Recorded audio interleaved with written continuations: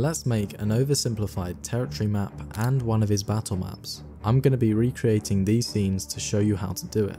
The first one starts in DaVinci Resolve, where you'll need to import the whole world land and oceans map and then head into the Fusion page. Drag in a background node and then change its colour.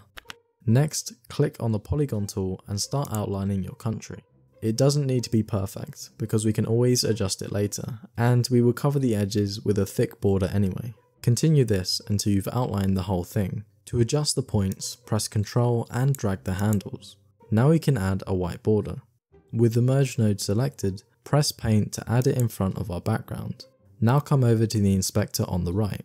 Adjust the brush shape to solid and lower its size. Then go to the top of the media window and press polyline stroke. This will allow us to easily draw a border and like before it's adjustable so you can move it around and change the size at any time. Follow the country's border to finish it up.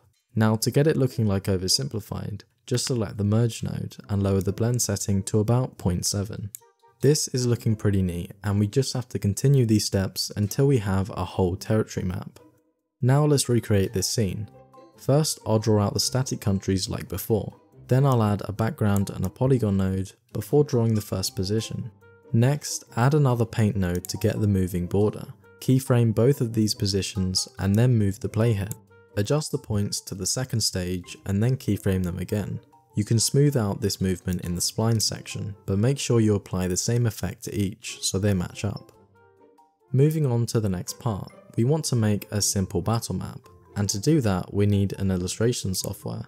Make your canvas 4K to avoid it being pixelated, and then pick a background color. If you want it to look like a map you've seen before, you can use this button to select a screen color. Use the bucket tool to fill the background. You've probably also noticed, oversimplified maps have a bit of color blending, so it's not just the same shade of green. Adjust the color settings and use a low hardness brush to add this effect. You can use Ctrl Z to correct any mistakes. Now we have a base, we want to layer up the image with roads, rivers and trees. But before that, we should add a faint shadow underneath to give them a better contrast. Pick a darker shade of green and then lower the force and hardness of the brush. Make a new layer and then select the path tool to trace out the rivers and roads. Create separate paths if your roads are different sizes.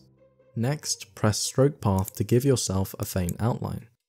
Now make a new layer for the road lower the brush size and choose two colours. Hit the same button again. Once you're done, reduce the brush size and stroke path with the other colour. Now it looks outlined, which is what we were after. Finally, create a new layer for the rivers, and then use the same method to paint them on.